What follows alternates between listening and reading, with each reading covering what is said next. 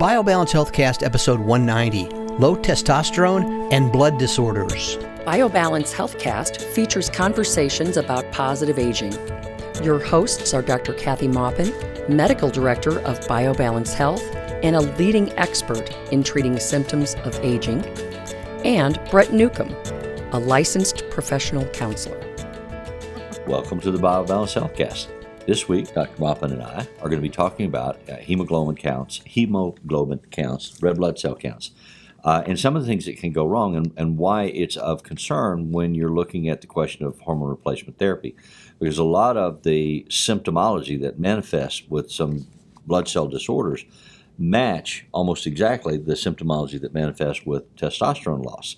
So a physician has to know the difference and know what they're looking at.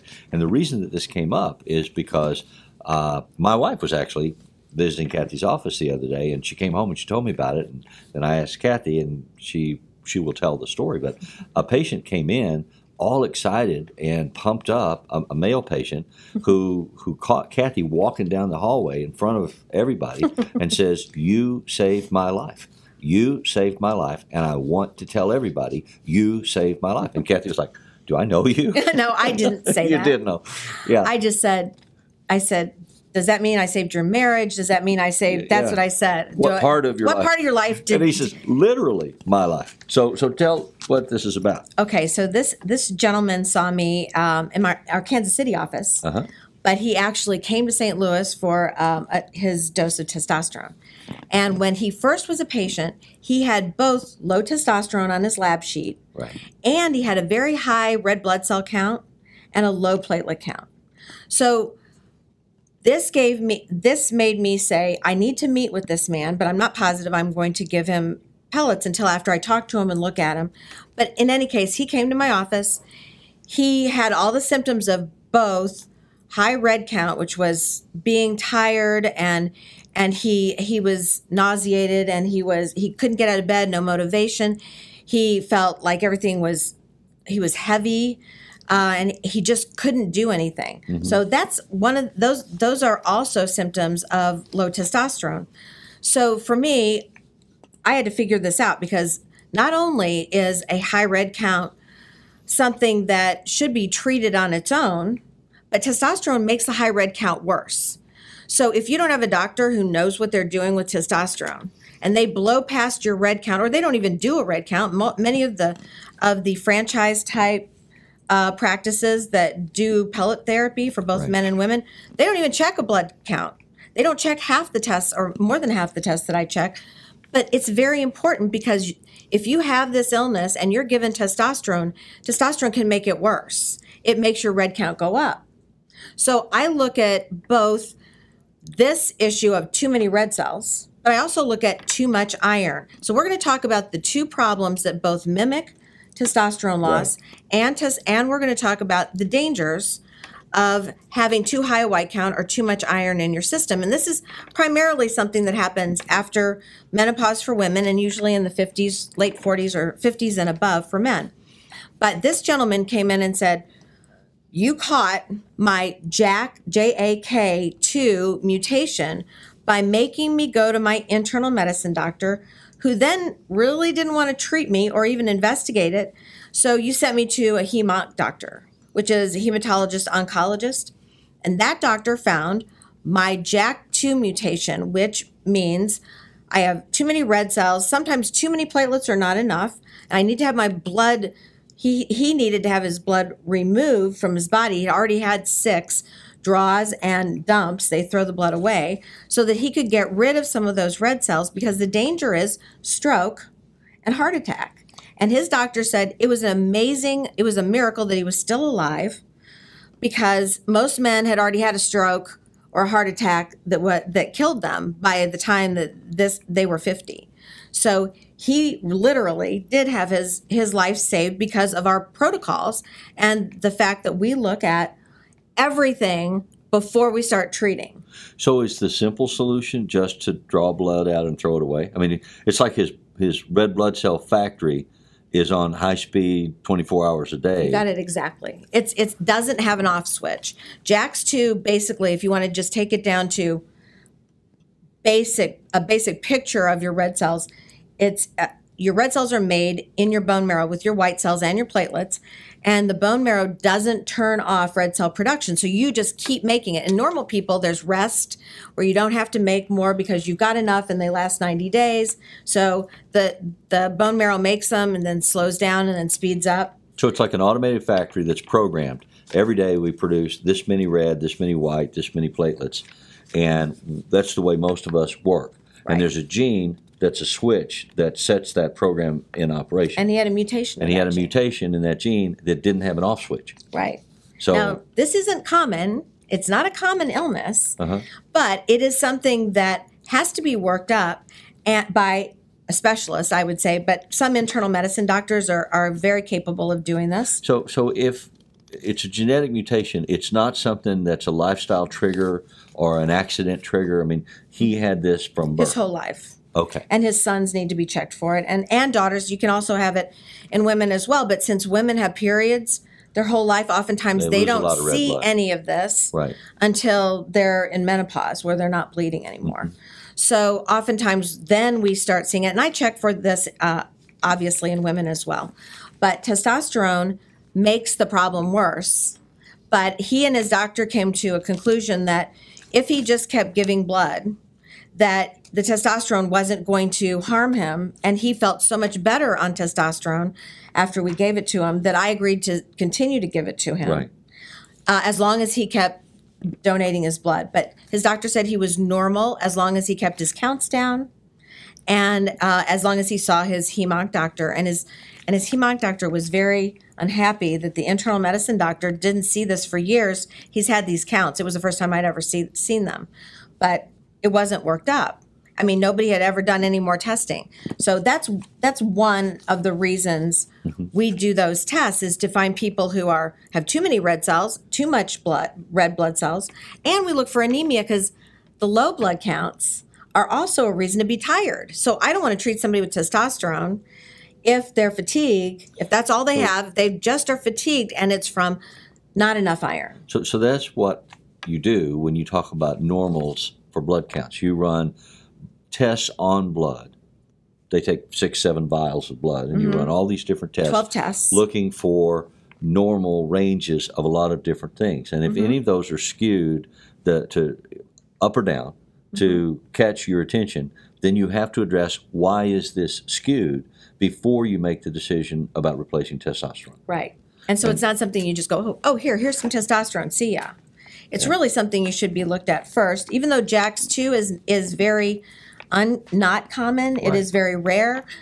The uh, there is another issue with this where you see a high red count or a high ferritin level. Ferritin is the amount of it measures or is a mirror of the amount of iron you have in your body. Now, generally, Hence, ferritin. ferritin. F-E-R. Yeah. Yeah. So this is yes, and Well, it it's a Latin it actually word. can happen in men and women. And at first, I just tested men because it's much more common in men. Right. But I because of the period thing? yeah Okay. right, and so and so you don't really look for it in women until menopause. And I don't know many internists that actually run ferritin on their yearly visits. But mm-hmm. because testosterone increases iron absorption, increases red cells, I found I I mean, I wasn't trained to do this. This is something that I actually believe should be done because it does do that. You have to know what testosterone does to know what to test for and what it could make worse. So I kind of I added this to my panel a long time ago. Now, I, I remember as a child, back in the dark ages of television, when everything was black and white, that there was a company named Phillips Milk of Magnesia, and they ran all these commercials for people that had iron poor blood. Why is that relevant? What what do we need iron in our blood for? Oh, it wasn't it wasn't milk of magnesia? It was something else, but that's okay. Milk of magnesia is magnesium, and that that's for constipation. Maybe I don't remember as well as that. Maybe that maybe that's it. My mental process. is No. constipated. We've already checked yours. Anyways, the um, iron is necessary to make red blood cells, but if you have too much iron, Geritol. Geritol. That's it. Geritol. So, so I, that's for iron poor blood. Our Geritol crack research had iron staff found in it. that answer, even as we were talking. I don't remember that long ago. I'm not I'm quite that Yeah, uh, as yeah. old as you two. So, so okay. So we're going to talk about hemochromatosis. Yes. Another problem that is genetic that runs in families that can cause heart disease because it increases it increases red cell count, but it also does other things. It also puts the um, iron into your brain, into your eyes, into your liver. It can cause liver damage. It can cause it actually can it can be stored in lots of different areas in your body and damage all the organs that it's stored in. So hemochromatosis causes fatigue. It also caused I mean there's I had a patient that had had this it caused weakness. She took her she had testosterone and we kept following her but she still didn't get better. So we couldn't figure this out. And she because she was a woman and this was long enough ago that we hadn't weren't testing for ferritin. Mm-hmm. I then tested her ferritin because her red count kept going up. So I checked her ferritin. Well, ferritin, you know, should be at the very most in women 250. It was in the thousands. So when I got that result back, then I knew why the testosterone didn't make her feel better. This was masking the good of the testosterone. Plus, the testosterone was making her counts go up. It was making her absorb more iron and make her more tired. and making her more tired instead of less tired. Yes. So because of her genetic problem, we I I sent her to the hematologist oncologist who then all she had to do was remove blood. This is very common in um, different genetic groups. So one of them is the English, Irish, Scottish, you know, the Brit- British uh, islands and France and some of Germany because it just genetically where everybody came from they have this genetic mutation. It- it's the disease of kings. It's why the kings always got bled for everything.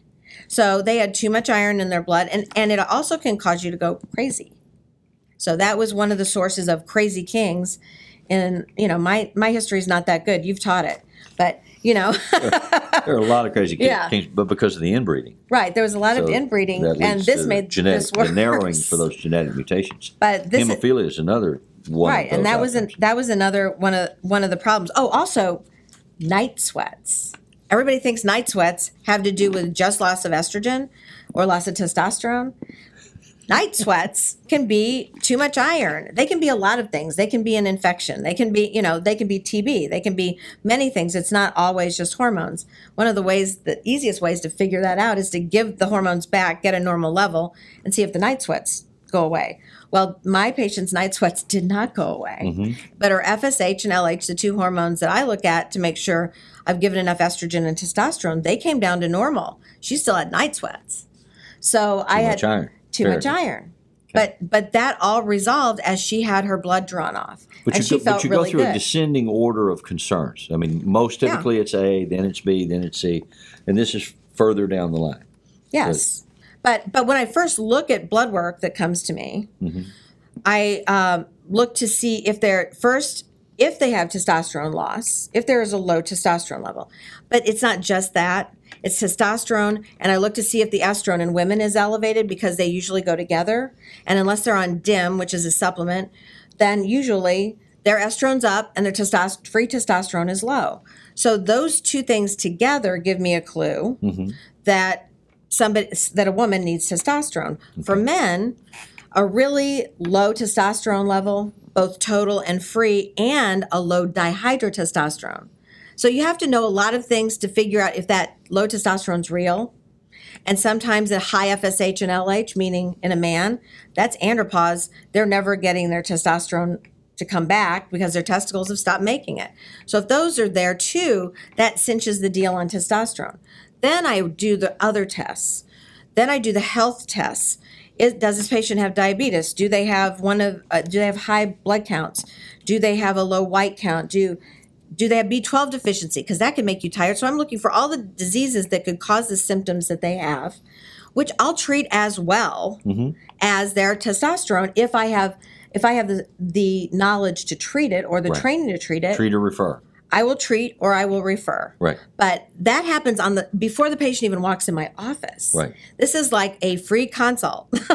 I look at everybody's blood tests and then if they don't need testosterone, then I send them to the doctor they need. So that's why you have on your website all of the, the forms that people need to fill out, including the request for the blood tests Mm-hmm. Right. that identify the 12 tests that you want drawn Mm-hmm. so that they can get that before they ever come, before they ever pay a dime for anything. right. And then see if they are candidates for this, but also to see if something else pops out that, that another set of I'm not eyes just is looking I'm not at. just going to go, "Oh, yeah, here's your lab." yeah. I'm, you don't need to see me, but here's your lab. That's just a cop out of doctors who don't want to look it up. I mean, you can actually look it up.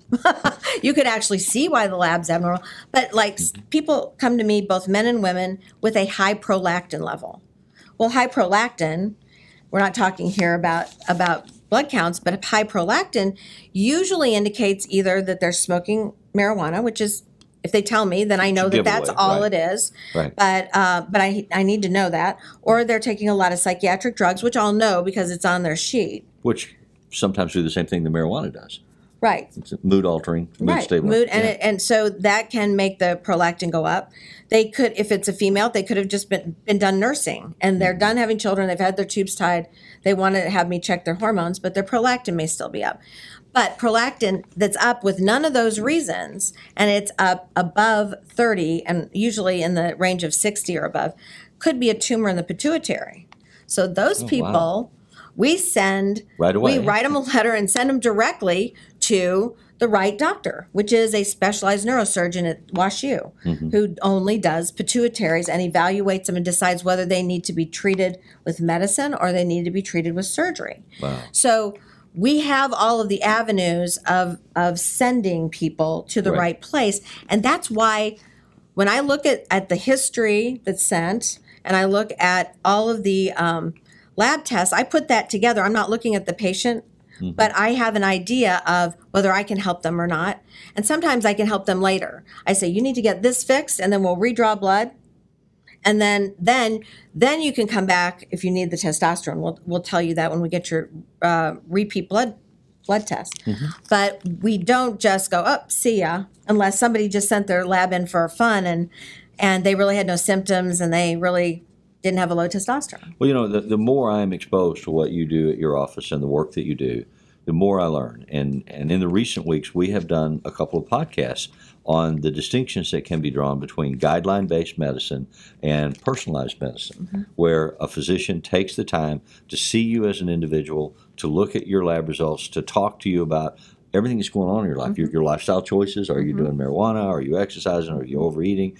Uh, did you just lose a parent? Are you suffering from grief reaction? What all is going on as a way to evaluate what your condition is and what, if anything, needs to be done in response to your condition. That's right. And that takes time. You mean you spend mm-hmm. 45 minutes to an hour in a 1st assessment with a, with a new patient. Most physicians don't have that kind of time or don't take their time that way. Uh, and, and so it's it's really I would encourage you find a physician that will talk to you, not look at the computer, that will look at you. We've done a podcast on that as well. Mm-hmm. As the technology uh, becomes more pervasive and intrusive, the individual sometimes recedes into the background, and in many cases, it makes no difference. I mean, it's- a lot of things that people deal with are just so standardized. You've got the flu, you have a viral infection, you it's have one synapse, one Yeah. synapse in your brain with two nerves on either side that go, "Oh, you've got the flu. We're going to do it, doing this, or we're not doing this." Right, right, right. Yeah. But for these rare cases, I mean, and how That's what you need a doctor for, and not a you computer. feel to have people on a pretty regular basis Mm-hmm. come in and say, "You have changed my life," or "You have saved." Mm-hmm. I love life." that. It makes my. Well, I what- mean, it makes who my. wouldn't? It, it makes It's my awesome. life amazing, and it's amazing to have the gift of being able to treat people for this Yes. and be able to discern what isn't hormonal problems, what is something else. If I can treat it, if I can't, I'm sending them to the right people. So all of those things are are just gifts for me, and that I'm supposed to pass on. Well, and that's that And is to not to say that your focus in medicine is to be a medical ombudsman or a gatekeeper for I'm not. everybody's issues. You have your own specialty, your own practice that you're passionate about. But the way that you run that practice is to say, I pay attention to people and I practice the art and the science of medicine. Yep. And, and, and that's and that's how my nurse practitioners and nurses do as well. So that's all that's all our goals. We always and we also also do what hospitals do. We sit down and talk about the most difficult um, cons- cases that we take apart a patient's history together and their together. labs right and and we share knowledge and we I go over all of that and then oftentimes one of the nurses will go I just thought of something. It's rare, but let's look at that. So you know that we'll send we'll tell one of our patients we need to have them come come in after we get their lab drawn and see if that's one of the things that could be interfering with what we what we're trying to do here, which is make everybody healthy so they don't need medicine. Have you I ever mean, the calculated is- the, the number of hands-on years of experience that you and your nurses represent? Oh, adding it together. Yeah. Um, 20, 30, 25. You add for me. 20, 20, 30, 25. 25 and 30. So you're talking about 130 years of experience mm-hmm. in in, in one place. in one place. But this this is the the I guess I want you to leave knowing about things that can go wrong, specifically too many red blood cells, a high red blood cell count, and how easy it is to treat Yeah. if you get your diagnosis and how important that is to your life. But I also want you to think about when you go to somebody who's going goes, "Oh yeah, I can do pellets. I can stick some pellets in." I mean, okay, the procedure itself is not rocket science. That's not the deal. It's the the science and keeping up on the research and knowing what is not testosterone based, what could be another illness, where you go when you get it, and and all of the troubleshooting that we do, we've developed over the last 12 to 13 years. So remember, red blood cell counts matter too, and make sure that you get them checked out. It's it, it could be a lifesaver. In this case, it was a lifesaver. Yeah, it was. And as always, thank you so much for listening to our podcast. Email your questions or comments to podcast at biobalancehealth.com. You can find the BioBalance Healthcast on iTunes and on YouTube.